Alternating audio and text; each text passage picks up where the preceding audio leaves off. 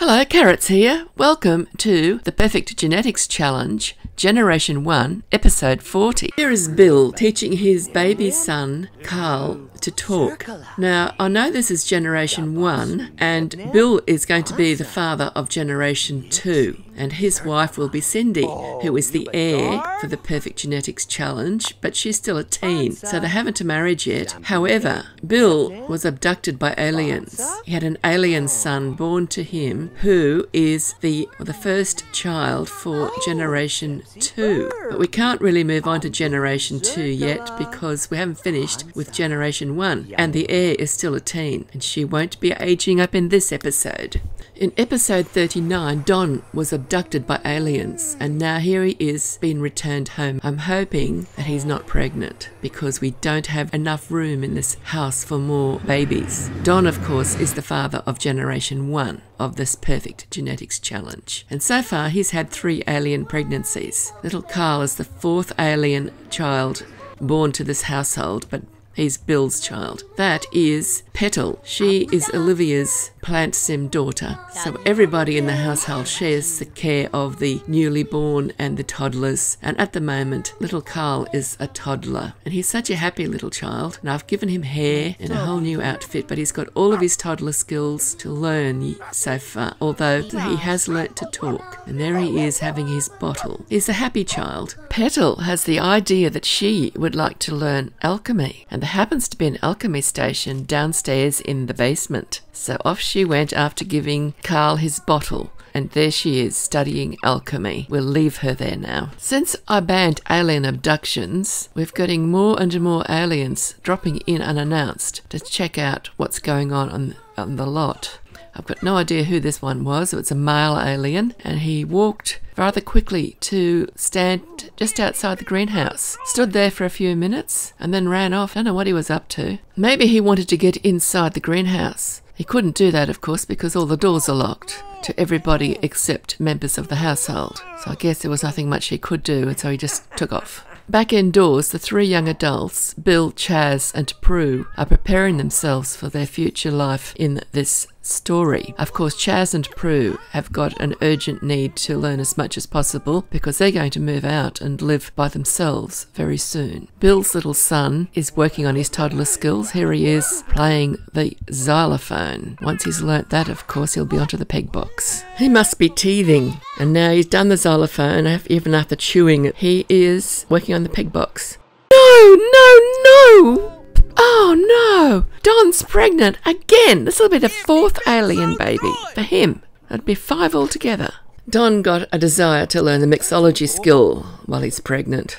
That's the bar that I added for their party they had in the last episode. It's from the Katy Perry Sweet Treats. I don't think he's being very good as a mixologist seems to be spilling a lot.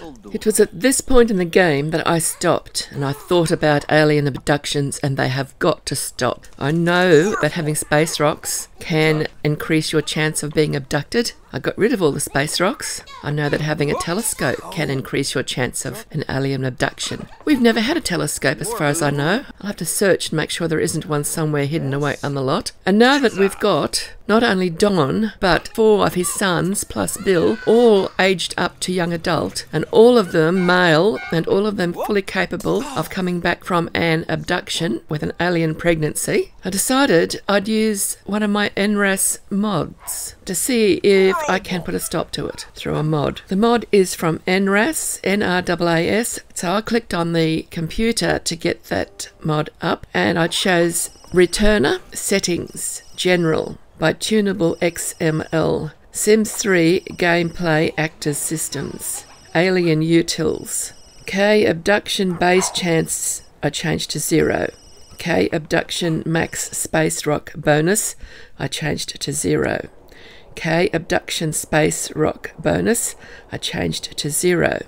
K abduction telescope bonus, I changed to zero. Now let's hope that works. With all of those changes, there should be no more alien abductions in this game. And while I've been going through all of that, Don has raced off to work and there he goes on his bicycle. He doesn't get time off for being pregnant, but he does get time off after the baby's born. Poor Gary, he's really struggling with his magician career. Remember in the previous episode, he auditioned for a second time to get a gig and he was granted a gig and this time he's actually managed to turn up for it. He's not very good at it. The reason I've got him in this career is twofold. Firstly, that was his wish, his lifetime wish, is to become a master magician. And secondly, I've had other games where Sims have been in this career and I've not played them. I've moved them into a household somewhere else in the world and just left them to it. And they very quickly got up to level 10 and become master magicians.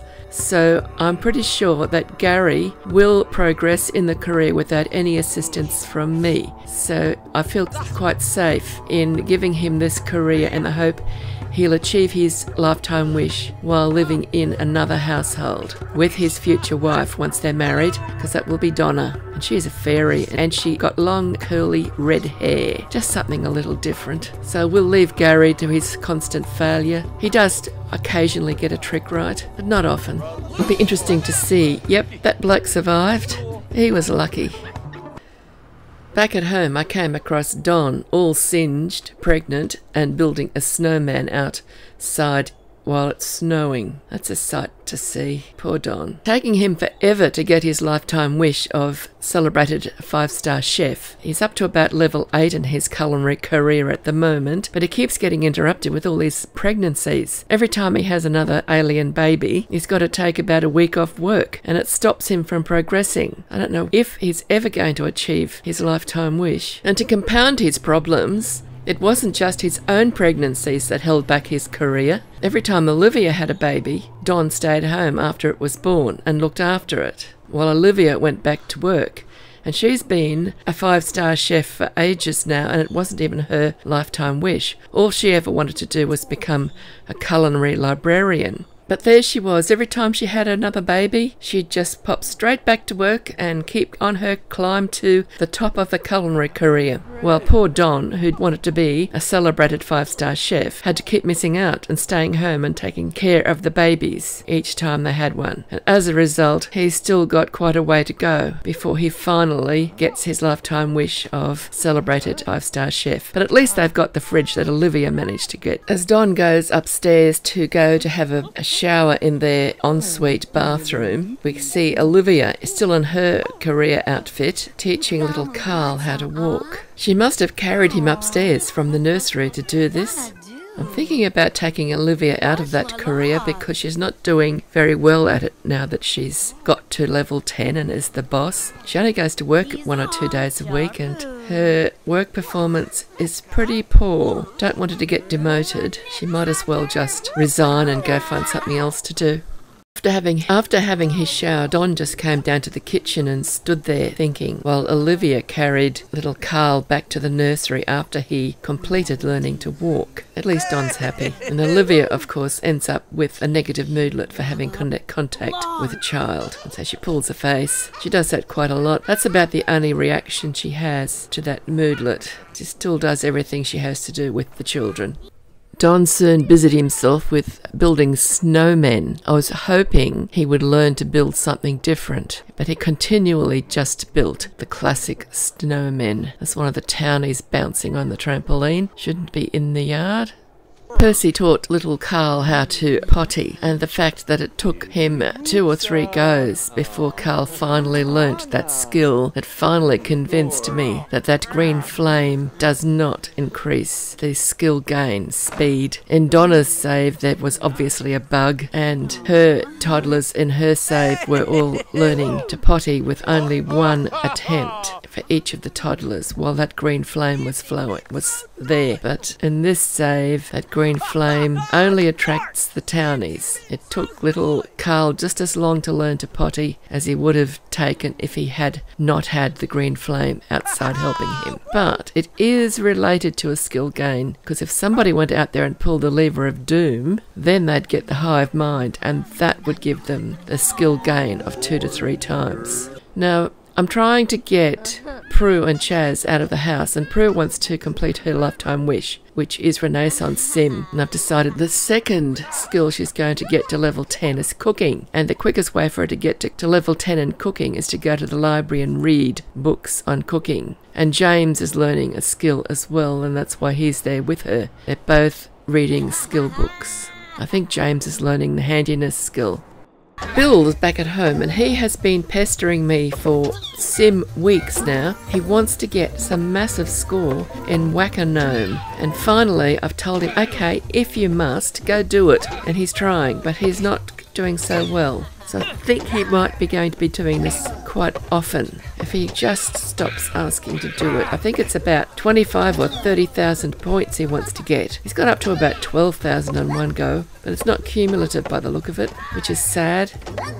Looks like Don's getting bigger. He's got his backward pregnancy walk going. It's Cosmo there in the yellow t shirt, just standing there wondering what to do next by the look of it. Don must be about to go to work. He's just changed into his work outfit. So it looks like a little Martin riding a spring rider out in the background. Yes, Don just expanded. Every time that green glow happens, he becomes a little bit bigger. The pregnancy has advanced a little bit more.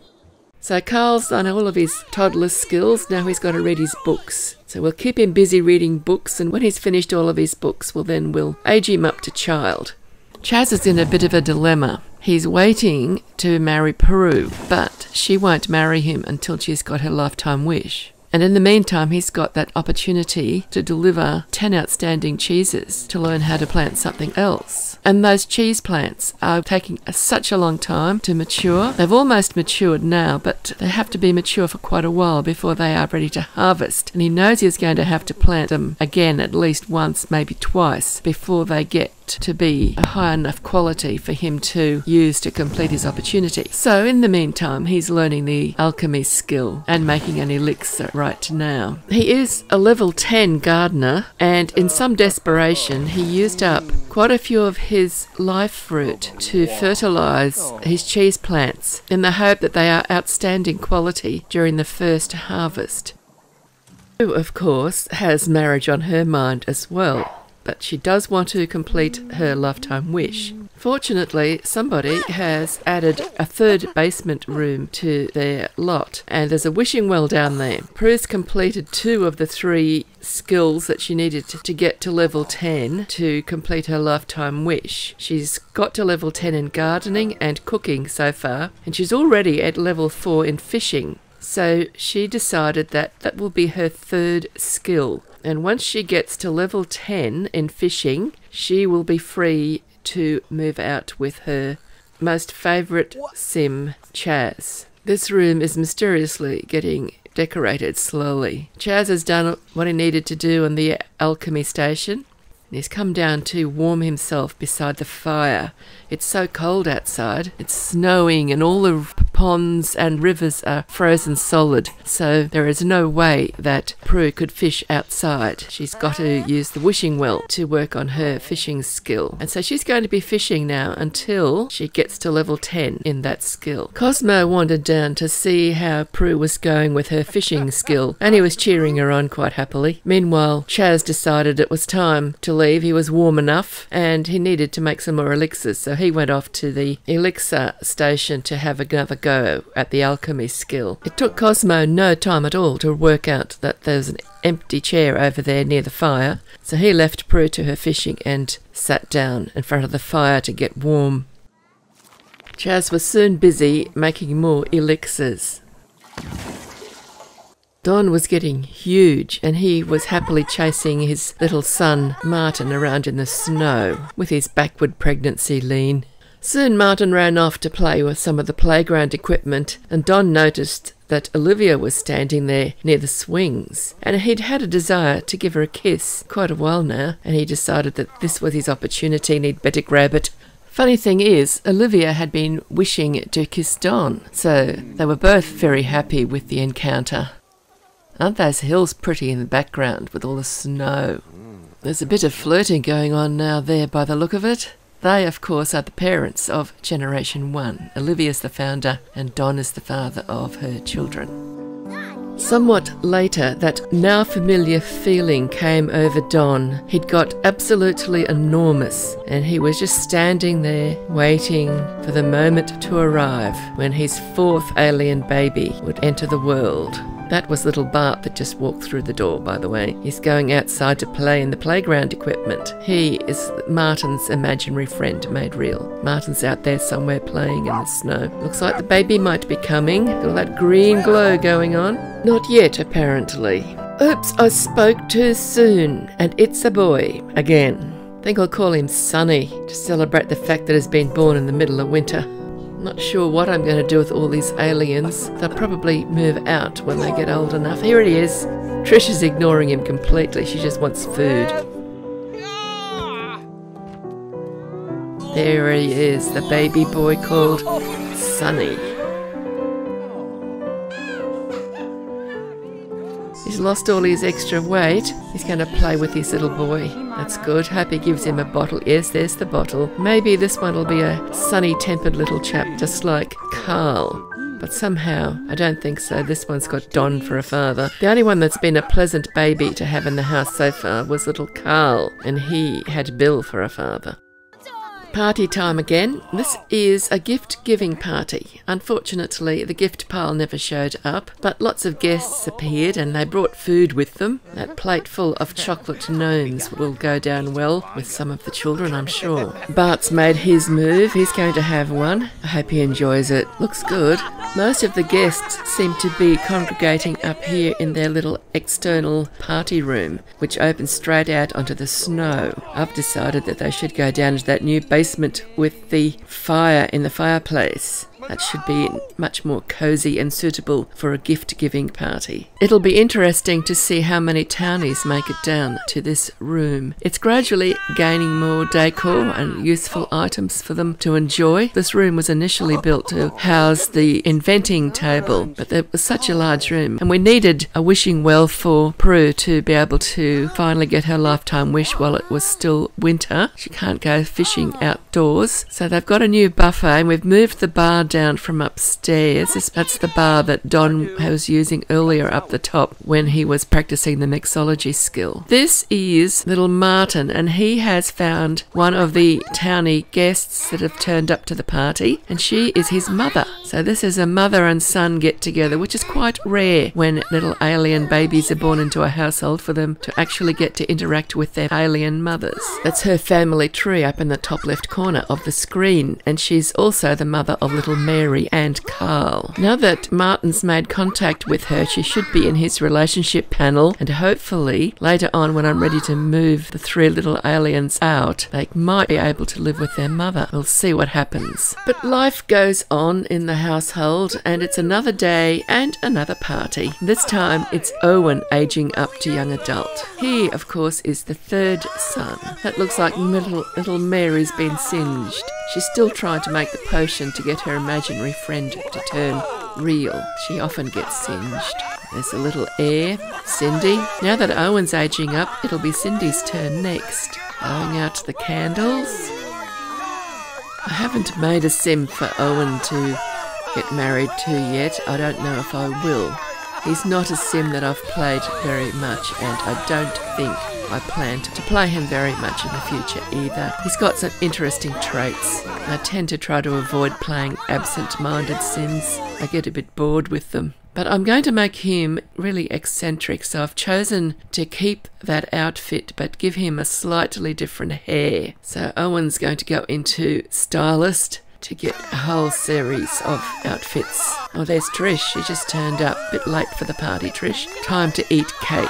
Trish is Owen's imaginary friend turned real, and I'm wondering if maybe Owen and Trish will get together. But then Trish has been good friends with Cosmo all the way through, ever since she became real. So it could get a bit complicated there. Naturally, Trish will be the next one to age up. Cosmo will still be quite a while before he gets to age up to young adult because Cindy comes next and then it'll be Petal. But when I check Trish's relationship panel, I see she's already got two romantic interests. The one she's most interested in happens to be Owen, and the other one is a townie called Keith Bateman. I haven't even seen those two together together. And apparently, she's been getting to know Keith Bateman in the background without my knowing about it. So we'll see. As I said, Trish could get a bit complicated. But she's still got to have her cake. Owen's another one who wants to become a master acrobat as, as his lifetime wish. So he will be joining the acrobat career. And I'll give him a slightly eccentric type of wardrobe, I think, to make him an interesting character to see around town because he'll mostly be a townie. It's time for Trish to have her cake now. She's about to age up to young adult because it's her turn now because she is the imaginary friend of Owen. And Owen's just had his aging up party. There's Gary and James and Bart helping her celebrate. I'm sure there'll be more of them there shortly. There's Chas, he's leaving. I know he's not, he's just going around the chairs. Almost back to exactly where he was before he started. They're all getting tired. I think it's pretty close to midnight, so she may end up having her birthday in the next day after Owen because we waited a bit too long. The candles have been blown out. As you can see in the background there, I've given them a kitchen sink because the tables there, I thought I'd get them to wash their dishes close to where they were eating rather than having to all file up the spiral staircase to get upstairs to wash their dishes. Here she goes. Now Trish is a young adult, as Owen he just made it in time to see her transform. This Petal and Mary's had a shower, so she's no longer singed. I thought everybody would turn up eventually. Some of them are in their pyjamas. Considering it's about midnight or a bit later, not surprising that some of them have already been in bed and had to get out again to come and help Trish celebrate. She could keep that outfit, I think it looks good on her, but she'll get lots of alternative. The latecomers are all too busy squealing and clapping and cheering and spinning their noisemakers to grab the pieces of cake that are left. I think they're going to miss out. Yes, that lot aren't getting any cake from Trish. Then they probably had plenty of cake already when Owen had his cake, which was just a few minutes ago. I always have the imaginary friend age up just immediately after any of the Sims who were born in game age up. But I think Trish is on the next day, so she could always end up being a day younger than Owen. So, Bill, he's gone out to the group science project, and Trish has come out to watch him. Now, this is going to be interesting. That is Owen arriving as well. Now, what's going to happen here? We've got the green flame, and we're going to pull the lever of doom. And it's been pulled, and look, the sparkly bits all around their heads. That tells me, and you, that they've now got the hive mind. And when they've got the hive mind, it lasts for six hours. There is a limit, and during that six hour period, their skill gain goes up by two or three times. So, this is the result of the lever of doom being pulled while there's a green flame. And I'm really hoping that this means that Prue's fishing skill is going to improve faster. She can fish for the whole six hours, that they've got the increased speed of skill gain. But I don't know if they've got to start their skill gain after they get the hive mind because she's still fishing from before the hive mind appeared, and it may be that she doesn't get any benefit of it unless she stops and starts again. Who knows? I didn't stop her, she just worked through it. Olivia went into the next room to work on the science machine, which is of no relevance to her skill gain because she's already at level 10 in the science skill. Mary, Bart, and Martin all went upstairs to work on their blocks table. They'll soon be aging up to teens. Martin will be the first one to age up of the three of them. I'm thinking next time we get the hive mind going, things are going to have to be better organised. So everybody who needs to learn a skill will actually be working on that skill rather than just sitting around. We've got Trish and Owen, though. They're working on their gardening skills, so hopefully they'll gain plenty of that for the time that's left for the hive mind. Just behind Owen, if you look carefully at some of those harvestables, they're death flower plants with little death flowers growing on them. You can see their faces. Time's up, the hive mind is gone, so now they're back to doing things at the normal speed. Olivia's headed off to the festival to read in peace. It's still snowing, it's not quite the end of winter yet, but it will be soon. After he'd done some gardening, Owen got an opportunity to deliver some harvestables to Sophie Rogers So he set off, had some difficulty tracking her down because she was at the school, but eventually she went home and he followed her there and managed to deliver the harvestables. Now, when he got inside Sophie's house, I noticed that there were those small, round, dark patches on her floor, which told me that those tiles were unusable. And the reason they were unusable was there was food on them and the food had sunk through the floor. You see those two dark spots on the wood floor? That's a little toddler's head there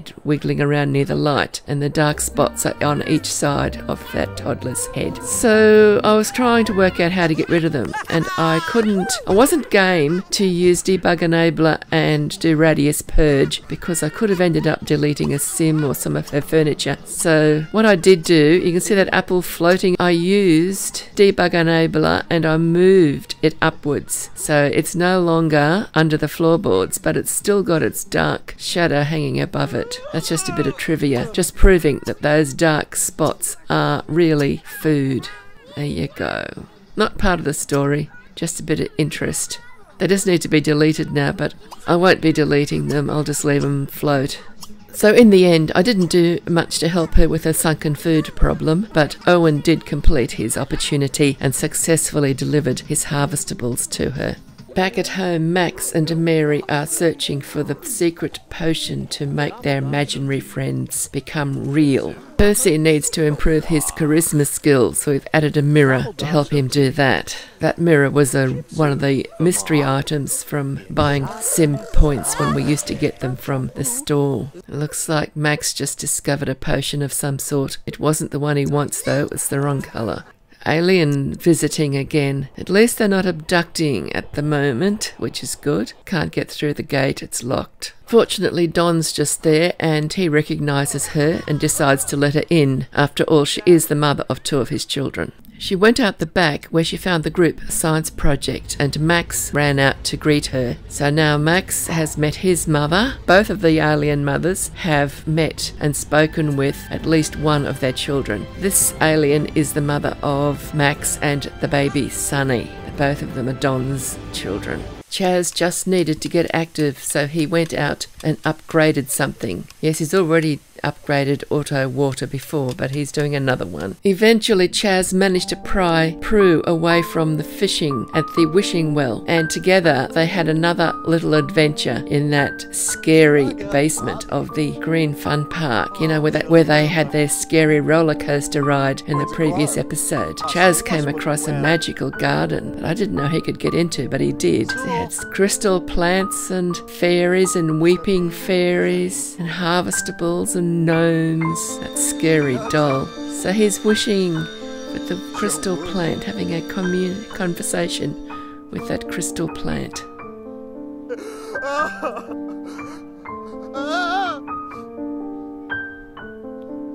Imbuing it with something. Scarecrow. Tombstones. Mushrooms. There's a frozen goblin in there somewhere, too. There it is. Prue's found it.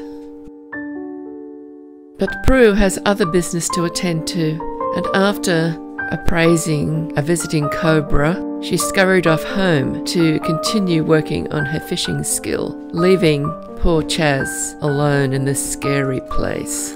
Fortunately, when she went home, Prue got right back to fishing in the wishing well, and it wasn't long before she didn't have to fish anymore because she got a lifetime wish. Now the only thing they're waiting for is Chas to decide if he wants to hang around to complete his opportunities. He's got to deliver 10 outstanding cheeses to the restaurant to learn how to plant steak and beef patty plants. Sadly, cheese plants take a really long time to get ready to harvest.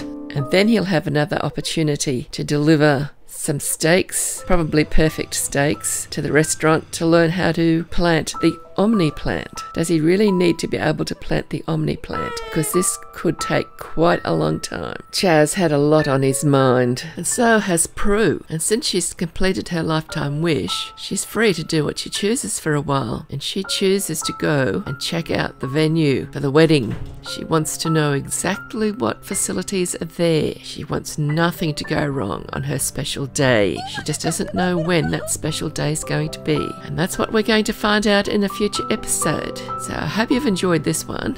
If you have enjoyed it, please give it a like. And if you haven't subscribed yet and would like to see the future episodes, well, then it might be a good idea to subscribe. And all the likes, subs- subscribers, and comments made on the video are all very helpful towards the channel getting promoted to other people to watch the videos. So, thank you for watching all the way to the end. Bye bye for now and happy simming.